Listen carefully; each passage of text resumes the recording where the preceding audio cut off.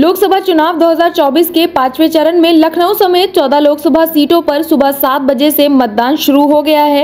राजधानी के mall Avenue स्थित म्यूनिसिपल नर्सरी स्कूल में उत्तर प्रदेश की पूर्व मुख्यमंत्री और बसपा सुप्रीमो मायावती ने सात बज के पाँच मिनट पर मतदान किया। मतदान करने के बाद बसपा सुप्रीमो मायावती ने मीडिया से बातचीत करते हुए कहा कि मैंने मतदान कर दिया है। उन्होंने सभी मतदाताओं से अपील करते हुए कहा कि मतदान ज़रूर करें। इसके अलावा मायावती ने सभी राजनीतिक दलों से जनहित के मुद्दों को प्राथमिकता देने की बात कही। उन्होंने आगे कहा कि इस बार बदलाव ज़रूर होगा।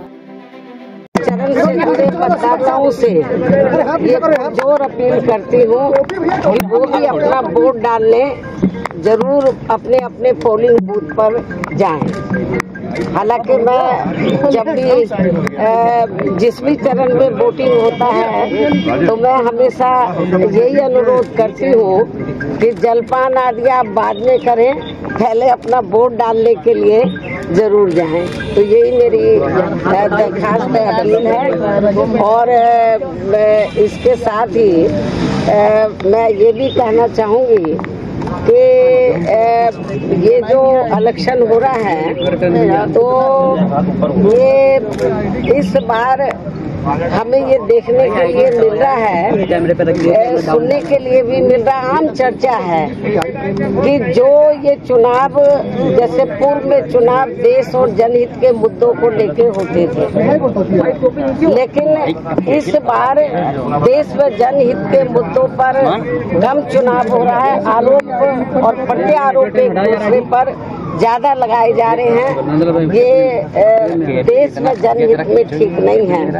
इसलिए मेरी सभी पार्टियों को ये कहना है कि उनको देश और जनहित के जो मुद्दे हैं उनको प्राथमिकता देनी चाहिए। क्या लग रहा है कितनी सीटें आ रही हैं इस बार बहुजन समाज पार्टी की? देखो ऐसा आगे है। अभी तो हाँ, वोट पड़ रहा है। जी। पाँचवें चरण का अभी दो चरण और बचे हुए हैं।